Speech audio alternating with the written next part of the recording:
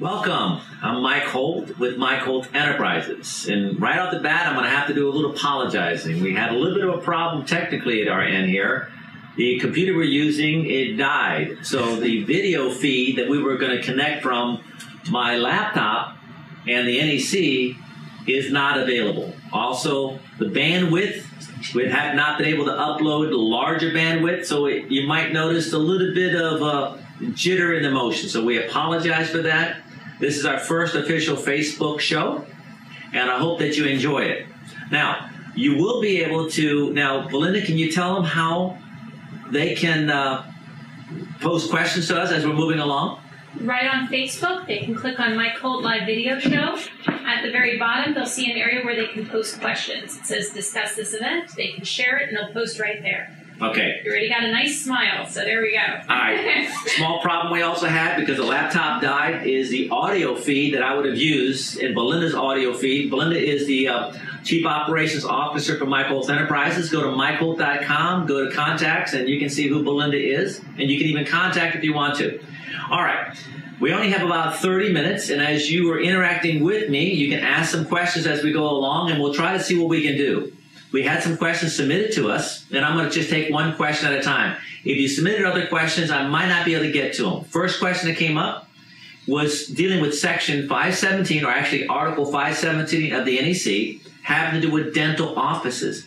Are hospital grade receptacles required to be installed in a dental office? And I'm so frustrated that we don't have the interaction with the video because I you'd be able to see the question and then I'd pop up the code book and I would show you the code book on that. So all I can do right now is if you have a code book, if you go to page 447 of the code book, if you take a look at 517.18b, and that's what I'm going to do, go to page 447. And you're working off the 2011 code? And I'm, yeah, good question. I'm working off the 2011 code. And here's what it says. That's 517.18b on the question about hospital grade receptacles. 517B. 517 18B. Each patient bed location shall be provided with a minimum of four receptacles. They shall be permitted to be of the single, duplex, or quadruplex type, or any combination of the three. All receptacles, whether four or more, shall be listed as hospital grade. So when you have a patient bed location, and a patient bed location is identified in 517.2, so that would be like a hospital. So if you're in a hospital, then you need to have a minimum number of receptacles, and I tell you about it. Four receptacles can be single receptacles, duplex receptacles, or quad receptacles, and those receptacles would have to be hospital grade. So answering the question, in a dental office or a chiropractor office or any other type of medical facility, or in those type of facilities, let's just say dental offices and chiropractor, do you need hospital grade receptacles? The answer is no. And if anybody, if you're watching this, if you have additional questions, then we can uh, pick those up as we go along. All right, next question. How often, uh, the question is, Mike, I, I, use your books and I see that you always use the 75 degree C column of table 31015B16 when you size the conductors, even though your examples might be less than 100 amperes. Doesn't 11014C1 tell us to size the conductors at the 6 degree C terminals. If you look at the beginning of all our textbooks, we put conditions in there. We say, listen, this book is assuming the following issues. And one of the things that we identify in the beginning in the front matter is that we assume it's all examples are to be single phase unless identified as three phase. We assume all conductors to be copper unless identified as aluminum. And we also assume all terminals are rated 75 degrees C in all cases. Now, in reality, are all terminals rated 75 degrees C? Probably they are. So therefore, we use 75 degrees C in the practical terms. Then why does the code have 60 degrees C ampacities? And why does the rule say 110 14C1 to use a 60 degrees C? Because in the past, we're talking about 20 years ago or so, terminals for 100 amperes or less were rated 60 degrees C traditionally. Above 100 amperes, they were rated for 75. So in practical terms, you go to table 310, 15, B16 to size your conductors. The first thing you're going to do is size the conductors based upon the 75 degree C column. not the 60 degree C column if it's under 100 amperes. Now, when you get to conductor ampacity, we're going to use the 90 degree C column because we traditionally use THHN. So, the code page is page 39. That section is 110.14C1, which is a rule about 60 degrees C. And there's also a reference in there that if equipment is rated for 75 degrees C under 100 amperes, then you can use the 75 degrees C column for conductor sizing. Belinda, did we get any questions? Any comments? Nope. Listen, if you're on a computer and you're watching this and you want to just kind of give us a little feedback and let us know that we're there, that you're there, appreciate that. Okay. Next question. What determines when and where bonding and grounding bonding and grounding bushings are used? There's two locations in the code as it relates to bonding. Actually, there's a little bit more than that, but the general requirements is going to be for services, and that would be your code book page 120, and that rule is 25092. Now, you have to understand what electrical service is, so you'd have to go to Article 100, read the definition what a service is. That's from the utility itself, the electric utility. That would be your electrical service. And service conductors end at the main means of cutoff, which is your service equipment. That's Article 100 defines what your service equipment is, your main means of cutoff. Once you leave your service disconnect, which has overcurrent protection, then those are feeders. Any service conductor that's installed in a raceway or an enclosure is going to have to comply with some special bonding requirements, and that rule is on page 120 of the code book, 250.92. Now, when you get into feeders and branch circuits, bonding bushings and bonding jumpers are generally not required, but there is another rule that talks about this, and that's going to be page 121, and that section is 250.97. And that specific rule says that anytime you have 277 or 480 volt circuits, and you're installing those raceways where there is concentric or eccentric knockouts remaining. So if you have your ring knockouts remaining, those ring knockouts are not identified at the listing agency to carry fault current in general applications. Now you'll see your four square boxes or your, what you might call them uh, four by four boxes or your 1900 box, whatever you might call them, just your regular outlet boxes. You'll see those where they have a half inch and then there'll be like a half a moon or a crescent around that to give you a three quarter inch. Those are not knockouts. I'll call those punch outs. Those are serious. And if you take a look at those those outlet boxes, metal outlet boxes, if you look at the carton that comes with them, the carton will be identified on it, and it will tell you that these boxes are identified for bonding 277 and 40 volt circuits in accordance with 250.97. So, if you're running 277 and 480 volt circuits, 25097 says you're going to need to have bonding bushings and bonding jumpers anytime they're in the raceway is terminating in concentric or eccentric knockouts. There's an exception to that, saying that if the enclosure is specifically listed for that application, then bonding bushings and bonding jumpers are not required. And we talked about that exception. That would be your regular uh, metal outlet boxes that you're going to be using there. Wasn't planning on covering this, but I'll just kind of mention real quick. 250.100 talks about hazardous classified locations. You have 501, 502, 503, and that would be 50130, 50230, and 50330, which talks about the bonding requirements for raceways and hazard classified locations that complies with 250.100 which requires us to comply with 250.92. Belinda? We have a question. Would that also apply to a 480 volt service?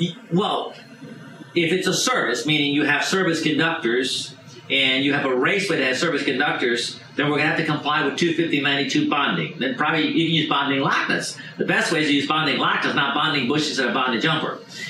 But once you get past that part, you get into feeders and branch circuits then 480 volt circuits or 277 or 277 480. In other words, if it's over 250 volts of ground, then for feeders and branch circuits, you're going to have to provide 250-92 bonding in accordance with 250-97 rules. If it's hazard classified locations, 250-100 referencing 50130, 50230, 50330, is also going to have to comply with 25092 bonding requirements, but you just can't use the neutral for bonding. And I know this is a lot of stuff, so hopefully, are, are we going to be archiving this, Brian? Yes. All right, we're going to archive this, and what I suggest you do, and you'll be getting a newsletter, is kind of get your code book out and, and read those rules in details, and then watch this tape and come back because I'm just trying to give you something that you don't have to be taking notes or take notes. 25092, 25097, 250 50130, 50230, 50330.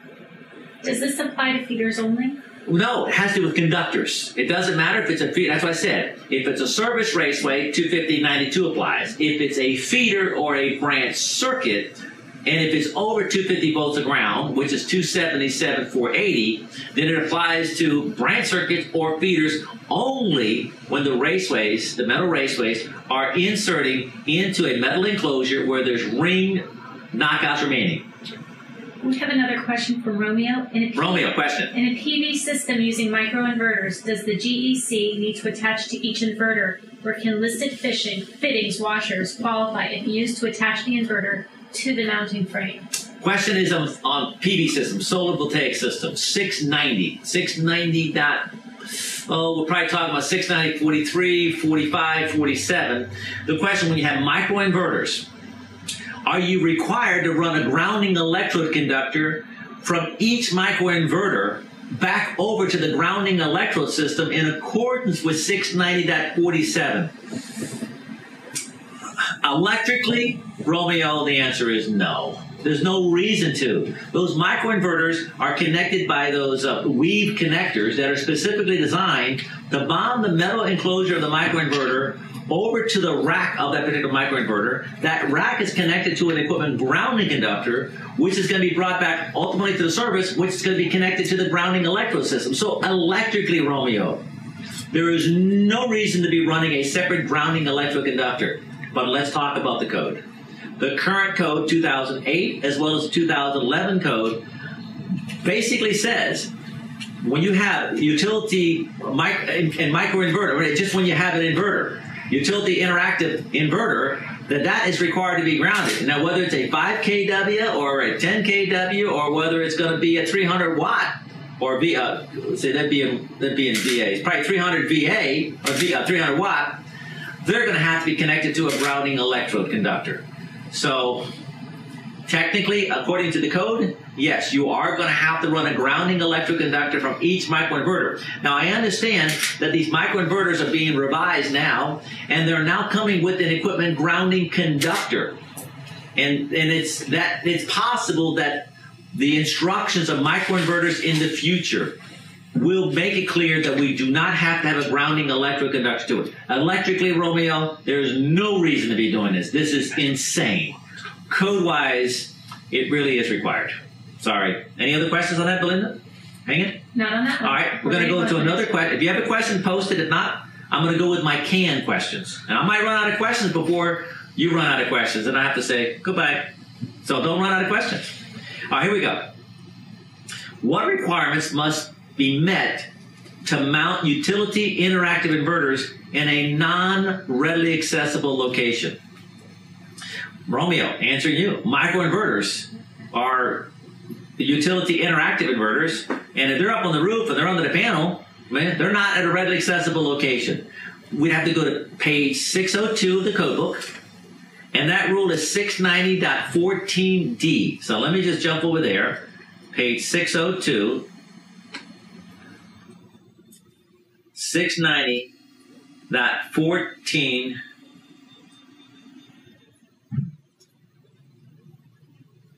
Where is it at? 690 14D. I apologize that you can't uh, see what I'm seeing. It was designed that way. All right, here we go. Four, okay, here we go. 690.14D says this utility interactive mounted in a non readily accessible location. And that could be microinverters or it could just simply be a typical inverter like SMA or any of the manufacturers that have, you know, centralized type of inverters. Utility interactive inverters shall be permitted to be mounted on roofs or other exterior surface or other exterior areas that are not readily accessible. These installations comply with 1 through 4, 690.14 D1 through 4. Number one, a direct current photovoltaic disconnecting means shall be mounted within sight of or in the inverter. So it's going to have to have a disconnecting means. An alternate current disconnecting means shall be mounted within sight of or in the inverter. So if we had like a, a 5 kW inverter and it's not really accessible, then we need to have a DC disconnecting means and an AC disconnecting means. They're going to have to be within sight of or in the inverter themselves. Number three, the alternate current output conductors from the inverter and an additional alternate current disconnecting means for the inverter shall comply with 690.14c1, and that's where you have to have a disconnecting means to be readily accessible. So if you put an inverter up on a roof, 5 kW inverter, where it's not readily accessible, you need a, a, disconnect, a DC disconnect, an AC disconnect with inside of that equipment. And in addition to that, you're going to have to have a disconnect that means that is readily accessible for the AC output conductors. And then the last thing is a plaque. Has to be installed in accordance with 705.12. That is that, you, you know, we don't know there's an inverter there. And so where you have the other services or the other systems and you have a DC system, you need to have an AC system disconnecting means and for the building, and then you have to have a PV system AC disconnecting means we need to be, make sure that we put a plaque at each location saying, hey, listen, there's a PVC system here located over there and identifying that according to 705.12. Any questions, Belinda? Not at this time. Not at this time. All right. Oh, here we go. Oh, this is uh they're looking for all their techs carry iPads. They're trying to find an electrical code book that they can download via PDF so the guys can view them at all times. Well, you can go to nfpa.org and you can download the PDF version of the code book. And that should have, I, am 99.9% sure that if you go to nfpa.org and you download the electronic version of the code book, uh, you should have no problem there at all. It'll be fine. All right, next question. In referencing to 250.66, that's a rule dealing with the sizing of the grounding electrode conductors for AC systems. The, the reference says this of 250.66 dealing with ground rods. If I drive ground rods, 250.66a yeah, 250.66a says that the largest conductor that's required to that driven ground rod is 6 gauge wire. And the question is, it says it doesn't have to be larger 6 gauge wire if it's the sole connection. And the question is, what does that mean by a sole connection? Because I don't have the ability to show you video or be able to interact to you well, like I'd like to but we'll do that for the next time. I'll have to just try to help you understand this. Imagine a single conductor coming off of the service or whatever the, the grounding electric conductor is coming from. That conductor is going to a ground rod. In the event of a ground fault, fault current is not trying to get to the earth. It's not trying to go to ground. Fault current leaving a power supply is going back over to the source. However, since your source is a grounded system, talking about grounded systems, because I assume everything is grounded unless we talk otherwise, since the source is grounded the earth at, let's say, the utility point, and your electrical system is grounded at the building and it's connected to the earth, anytime that there's going to be a ground fault, the fault current is going to be primarily flowing back to the source via the equipment grounding conductor or the effective ground fault current path as identified in 250.2. But there is an, an, alternate path at the same time because the system is grounded, the service is grounded, and if you're using a ground rod only, and let's just say the ground rod could get 25 ohms, not like it, but if it did get 25 ohms, during the moment of a fault, fault current is traveling to the source and all the possible paths, not the low resistant path, all the possible paths. So it's going to travel on the effective ground fault current path, and then it's going to travel through the earth between the two electrodes. The amount of current traveling to the earth can be calculated. If you have a 25 ohm ground and you have a 120 volt fault, Ohm's law is I, intensity, amperes, is equal to E, electromotive force, the pressure, the pushing, which is the voltage, over the R, which is the opposition of the current flow, the resistance. We're not going to worry about impedance. So I is equal to E over R. What's over R? What's the voltage? 120, 25. So take 120 divided by 25 is 4.8 amps. So we have a ground rod. We run a single conductor to it. We have electrical service system. It's grounded under a fault condition. In that case, the maximum fault current is 4.8 amps if it's the sole connection.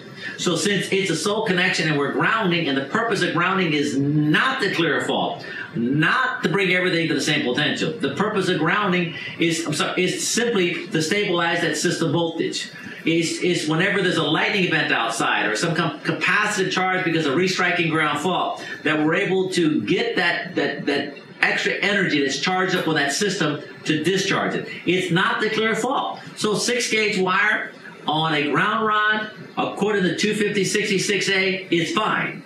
But why does the code say the sole connection?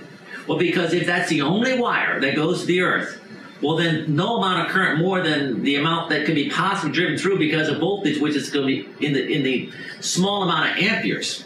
But what happens if I took that grounding electric conductor and I went to a water pipe and then I go over to a ground rod? Well, that grounding electric conductor is not the sole connection to that electrode. Now there's an alternate path.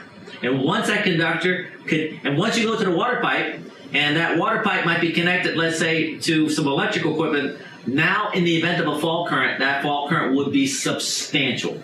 So you run a single conductor to a ground rod, nothing else. 250 66A, six gauge wire is the largest.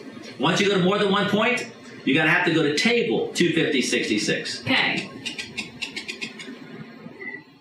Oh, we got we got a few more. So hold on, one quick Okay. second.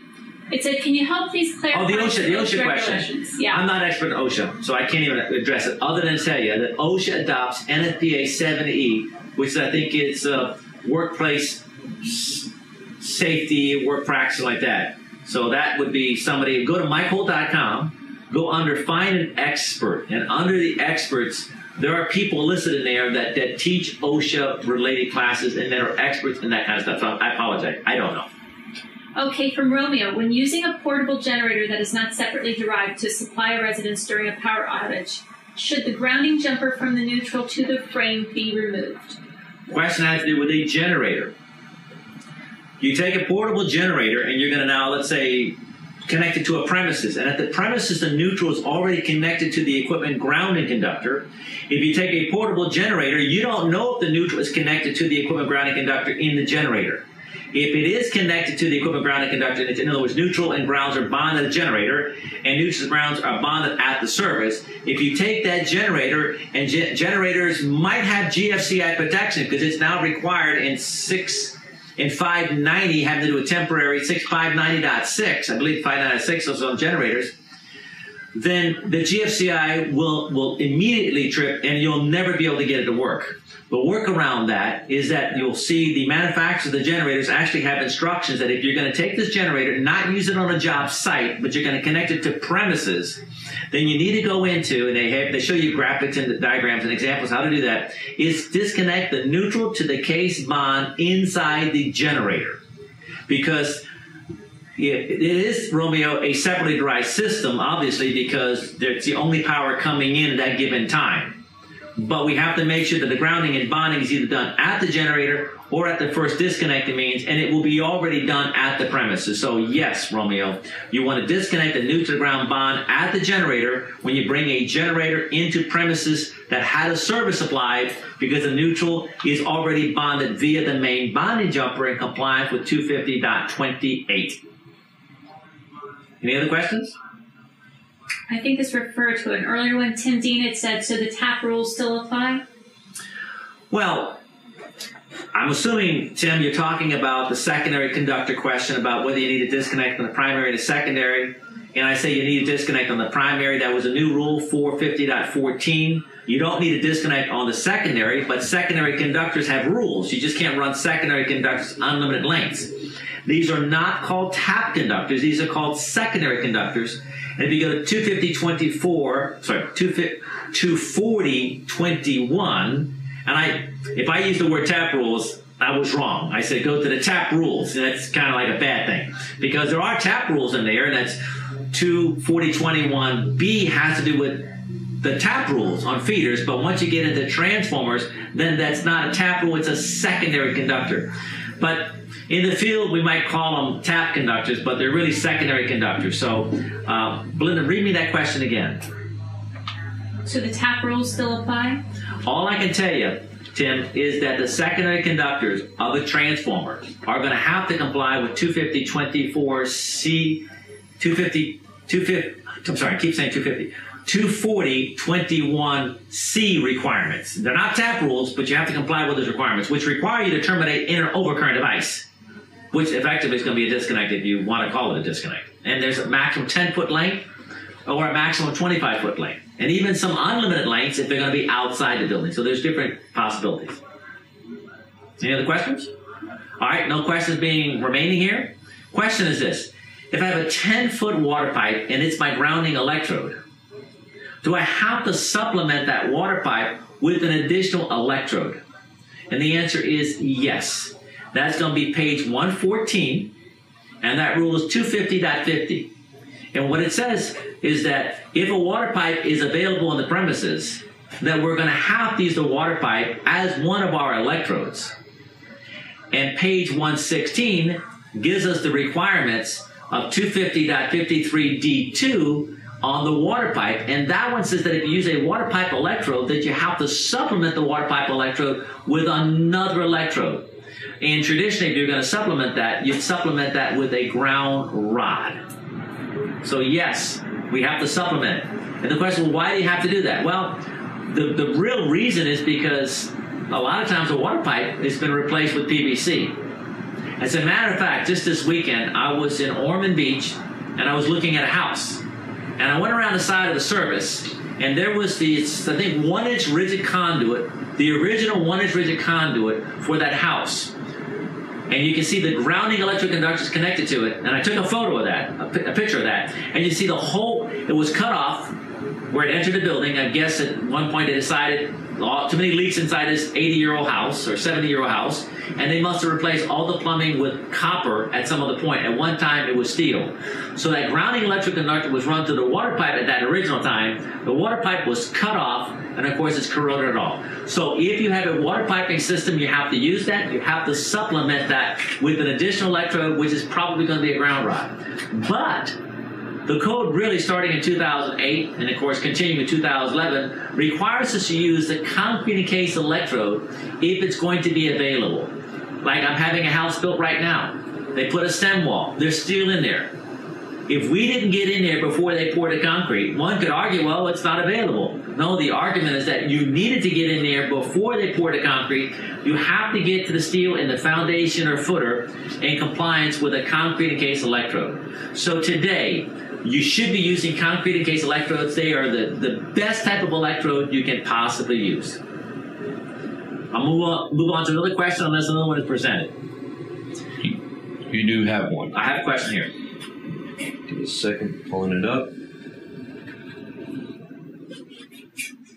All right, while you guys are working on that, I'll, I'll bring a, a, a last question here at my end. My son has a high-end cord-connected treadmill installed in a spare bedroom, and it trips his one-pole 15 amp AFCI breaker. It trips it out about once every three times when it starts up. Question: What's causing the problem? And number two, if that can't be fixed, is it legal to install a dedicated circuit in a dwelling unit for that specific piece of equipment? All right, let's answer the second question first. Can you run a separate dedicated circuit into a dwelling unit bedroom or anywhere in a dwelling unit at all to plug in a specific piece of equipment that's in bedrooms and dining rooms and in the general living areas? And the answer, without AFCI protection, the answer is no. Okay, but what's causing the problem? The problem has to do with the way high-end equipment starts up. They have, I think they have brush motors in there, and they create some kind of interference with AFCIs. The AFCI manufacturers are aware of this, so you need to get a hold of them, and and and they need to probably adjust their AFCIs to recognize this signature, this arcing signature, as not a fault, and ultimately it will be taken care of. And I know it doesn't solve your problem because the AFCI trips. You got to go, and if you're a contractor, you install it with a brand new home with a high-end treadmill. The people don't want to know anything about this code stuff. They just want to make sure the treadmill works, and they're they're suspecting that there's something wrong with the wiring because I never had a problem with this treadmill in my last house, and it's a difficult sell to try to convince a customer that, listen, I didn't make the device. I just installed it. It's working. The problem is an incompatibility between this technology and that technology. Now, this this also happens with treadmills. Um, you might get a treadmill and then put it in your house and plug it in and have it on a garage with GFCI, and it trips the GFCIs. Again, the same manufacturers are making GFCIs and AFCIs. They are aware of this, and I have heard about a special filter that you plug into the receptacle, then you plug in your treadmill into this special enclosure that has a you know that has an inlet for the, uh, the you know a, a receptacle in that thing, and it filters out the signal from the equipment so that it doesn't get over to electronic device.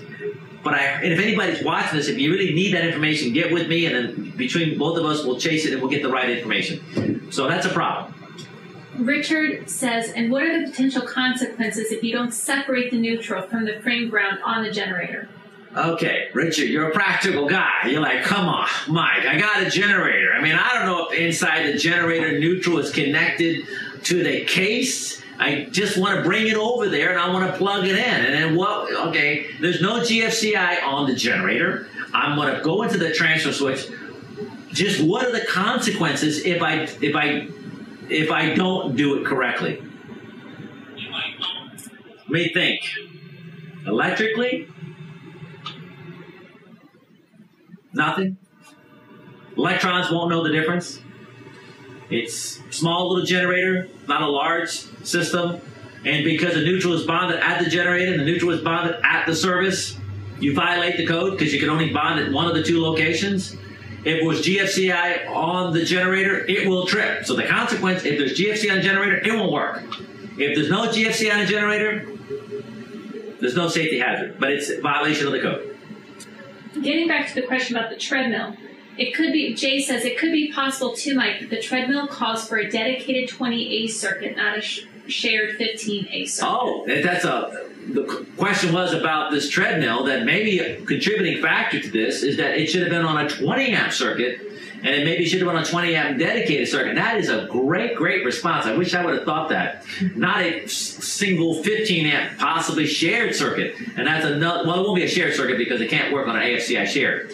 So that's another good point is I had thought about that. Get the instructions for the treadmill. Go online if the customer doesn't have it. Find out what size circuit is required. Then if they have a 15 amp circuit, then that could be a contributing factor. But I have heard about AFCI tripping with treadmills having to do with the interference with, with the, the startup.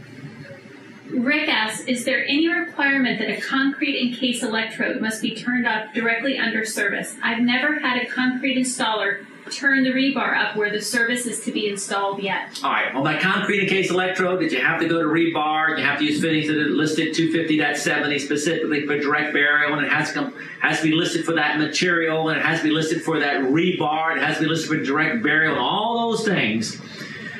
Can I just bend the rebar? Hey, listen, can you do me a favor? Give me a piece of rebar out of the ground? That's a building code question.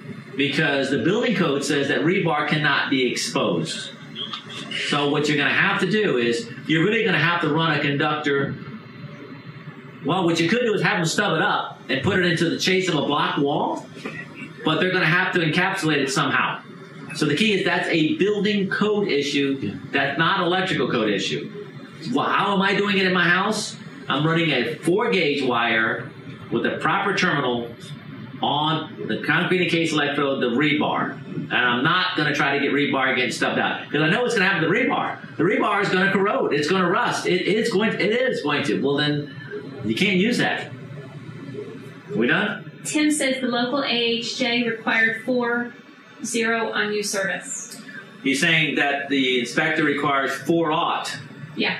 Uh, I'm not sure, Tim, if you're saying four aught to the concrete encased electrode, or if you're referring to something else, but four gauge, not AW. It's just four AWGs, not four aught. Four. Okay, Yeah. it's not four aught. Four. Now I can't tell you what somebody might require, but that's not what we're talking about. These are personal issues. You know what I mean? We can't get into personal issues. This is talking code, not what some person might be thinking that I don't know. All right. Um, how long are we supposed to run this show? Because I think we're saying we're going 30 minutes. What was our what was our what did we say we were doing? We don't know. So we're going to find out here, and then we're going to make sure that we can We were 45. 45 minutes. All right, then we'll take in the questions as we go along. All right. Um, a question came up, probably one of the viewers, and I'm not quite sure I understand it, so you might kind of clarify it. What's the specific rule on using a grounding conductor as a neutral conductor in a control circuit of 120 volt control? Well, if you have a control circuit, there is no neutral because you only have two wires. And one of those is going to be a grounded conductor, and one of those is going to be a hot wire. It doesn't really matter if a transformer which is going to be one or the other, but you're going to connect one over to the case of the transformer for the control. And then you're going to use that conductor also to supply your control circuit, um, your, your 120 volt control. So grounding conductor uses a neutral conductor control circuit. Maybe the question is I'm putting a 120 volt transformer in a 240 volt application and I need a neutral for that 120 volt transformer. And can I use the equipment grounding conductor for the neutral? If that is the question, I'm now reading it now, I'm suspecting that is the question. A 120 volt transformer connected to a 240 volt circuit, trying to get 120 volt controls. Can I connect, use one of those conductors that's a neutral, not really a neutral, but the grounding conductor? Can I, can I connect it to the equipment grounding conductor? And the answer is no. What rule is that? That's 250.142. Also, 250.6 having to do with objectionable current. You cannot use the equipment grounding conductor as a current carrying conductor. 250.142. Except at the service. Because look at your neutral at the service. You're able to use your neutral as your equipment grounding conductor. Any other questions? You know what? Um, those of you that are watching the video, if you can help me out here, we know we have some technical problems. You can't see my computer screen. My audio is not operating. the bandwidth, we couldn't change the bandwidth quick enough. And we had a problem with the equipment dropping out. The laptop got toasted here. So this has Minutes been before we went live. all of this like about 15 minutes before we went live. So uh, Brian Birch, who handles our, our multimedia and our social networking stuff, is going crazy, and he's, he's a little frustrated it's happened this way. So the next program, we're going to make it better. So we recognize these issues already, but is there something else that you can suggest to us? Just jump in right now and tell us what you'd like to see. Is there a certain time of the day? Should we do something in the evening? Should we get out of Facebook and maybe just simply do this a webcast? Do you have any other experience with any other um, seminars you've done online that you can give us some feedback on? So just kind of give us that information so that we know. They've been giving a lot of nice feedback, saying this has been amazing. Thank you so much. So they're enjoying. Uh, That's another good question. Are you guys enjoying this? Is this a value to you? Okay, um, we'll get that feedback. Um, question had to do with general lighting loads and the difference between the calculating of a service with a general lighting load compared to the IECC table 505.5.2 interior lighting. I guess in the building code they have requirements on lighting, and then you have the electrical code that has electrical calculations requirements for lighting. And apparently, that if you use the NEC requirements for lighting, it far exceeds the lighting requirements that the building code has, especially with energy efficiency. And it's like, well, what's going on between the two? Hey, listen, I don't know anything about the building code. You want to get electrical inspection, buddy? You want to get a permit? Then you need to go to the National Code and do all your calculations. And that's just the way it works out. Whether whether the building code um, realities will uh, migrate into the National Code someday in the future, I don't know. But right now, yes. If you use the NEC calculations, are those calculations requiring you have a much bigger service than required? The answer is yes. You can take a typical house, a 200 amp service in a house, put an amp meter on it. You guys that have been electricians, you know what I'm talking about. Put an amp meter on a 200 amp service. I would be surprised if you ever drew more than 50 amps. Ever.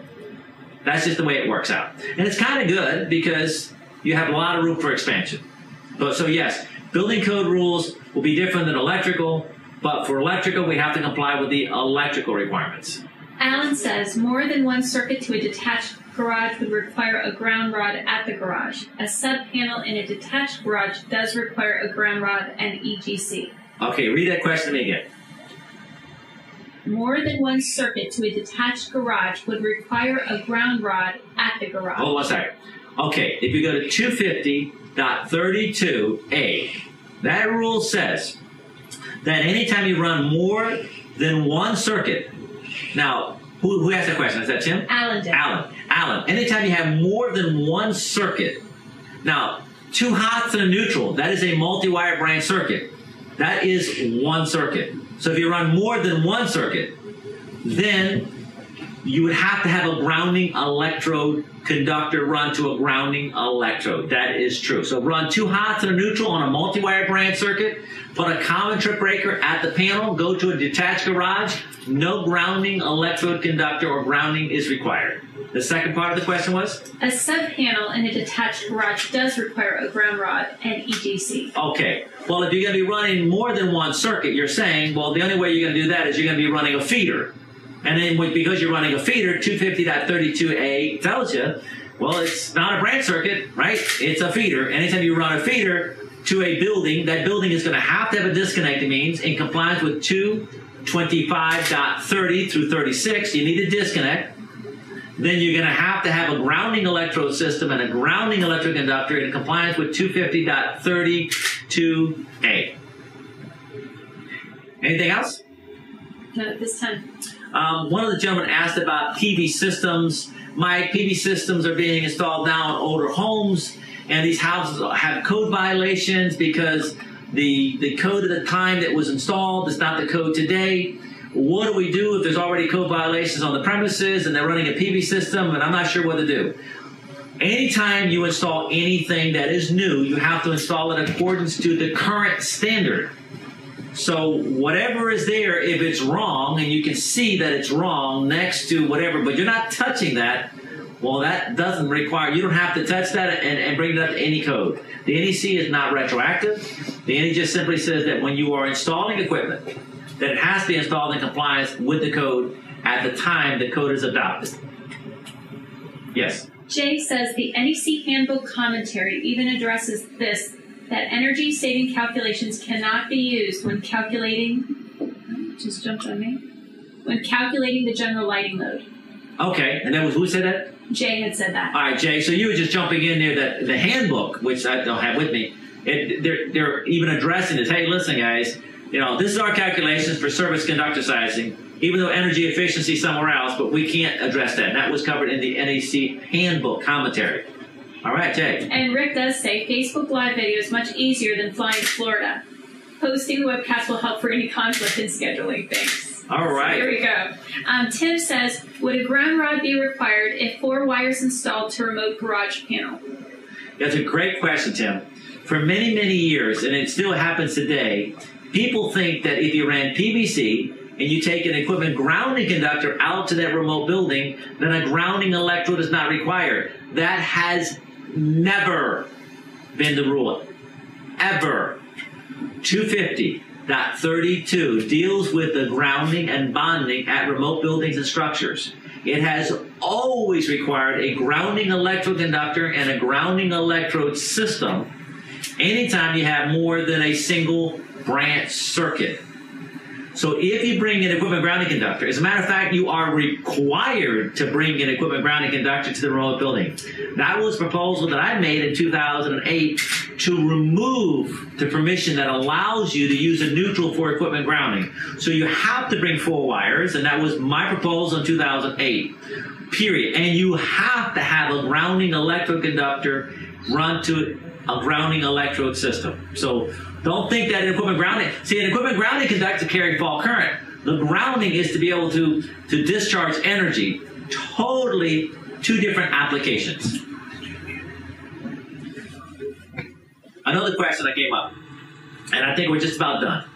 I have a data center, and I found it difficult to determine what the code requirements are for cable sizing and protection relative to wet cell battery systems serving a large UPS system. I do not know anything about conductor sizing and protection for batteries for large UPS system. So what do you do when me, supposedly an expert, has no knowledge? Go to MikeHolt.com. This is really important. Go to the code forum. And in the code forum, you post your question. And a lot of these questions might be posted under an engineering section, or it could be under the code section, or lightning or surge protection, or it could be listed under grounding and bonding. There are a lot of different subcategories in there. And just a little note that Belinda sent me the other day we've had over 1 million posts on our code forum since we started. We are the number one rated forum when it comes to electrical power, as well as the number one rated website as it comes to electrical power in the world. We hope our website's been useful to you. I think we've been running now a little bit more than 45 minutes. I'm going to close it up, but if there's any questions that come up before I close it up, I'm going to take all the questions that come in and I'll answer those. We also want to say thank you to EC&M. Oh, yes. Those of you guys from EC&M Magazine, I love EC&M Magazine. I've been with EC&M since 1980, so that's what, 32 years. I've been writing for EC&M and traveling and doing work with EC&M Magazine, and they're, they're a special relationship. And those of you guys that are with EC&M, I'm sure you see my writings in the magazine. Um, we want to thank Mike Eby. He's my buddy, he's my boss, and uh, we really appreciate that. All right, any last questions before we close? And this is your last chance, guys. Do it now. A PV system will connect to the existing GES. If the GES is not compliant to present code, is it not a violation to connect to it? The question is this: That was the one about I'm installing a PV system in an existing building. If the current grounding electrode system is not current to the code, and the PV system is connected to that, do I have to then have the, the current grounding electrode system compliant? The answer, well, yeah. The PV system has to be connected to a grounding electrode, and so you put in a, a grounding electrode that it complies with, and then you kind of tie the two together, or you upgrade the original AC grounding electrode system. So yeah, you have to have a proper grounding electrode system for a PV system. That was the last one we had. All right, last one we have there, boys and girls. And I hope that you found it valuable. I apologize for the technical difficulties and maybe some of the background noise, and we'll, we'll make that better. God bless. Have a great day, guys. Thanks for joining us. All right, thank you.